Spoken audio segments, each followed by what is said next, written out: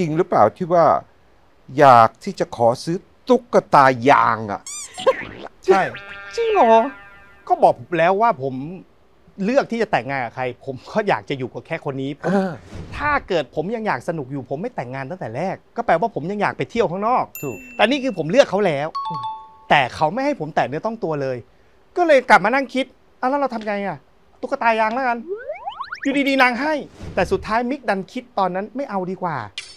เอะเพราะว่าถ้าเกิดกลับมาถึงบ้าน เออเออเออ ถ้าวันหนึ่งพอลูกคลอดออกมา เออ เราสะดุ้งตื่นกันมาสองคน ไอ้ตุ๊กตายางมาอุ้มลูกเราปลายเท้าทำไงแล้วก็เฮ้ยมันชักจะหลอนเว้ยเฮ้ยก็เลยบอกงั้นยังไม่เอา ซึ่งนี่เขาบอกซื้อเลย บอกไม่เอาไม่เอาไม่เอาไม่เอา เสร็จพอผ่านเวลามานานขึ้นไอ้ช่วงแรกมันคือแค่ตอนนั้นปริมอยู่ในท้องก็ไม่ได้คิดอะไร อืม พอปางคลอดชักเริ่ม 4 ปีเข้าปีที่ 5 ชักเริ่มหนักละ ก็เลยเริ่มพูดใหม่บอกงั้นมิกเอาละตุ๊กตายางมิกจะซื้อจริงๆแล้วมิกไม่สนละจะเอา ไอ้นี่มาจากไหนไม่รู้ได้หนูให้ซื้อ แต่ต้องทำหน้าเหมือนหนูเอออำมาหิตไหมครับอามันคือสวยแบบนี้ทำยากมากนะ มันไม่ใช่อาความหมายของผมคือ ไอ้คนมีชีวิตที่หน้าแบบนี้มันยืนอยู่ข้างๆไม่ยืนอยู่ข้างผมก็ไม่สั่งทำตุ๊กตายางหน้าเหมือนเขา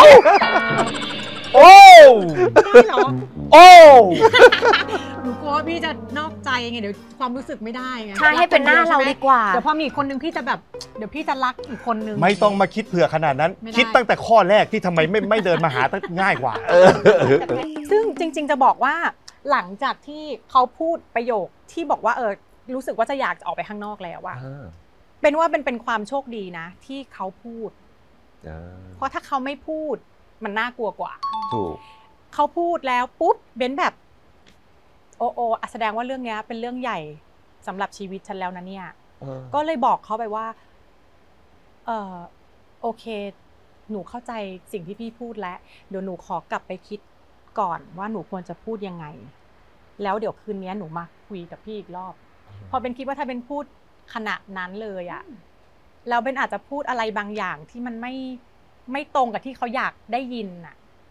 เขาอาจจะฟังเส้นสุดท้ายแล้ว มันอาจจะปึ้งไปเลยก็ได้อะไรเงี้ยแต่สุดท้ายคืนนั้นก็คุยนะคะเบนก็อธิบายเขาว่าแบบ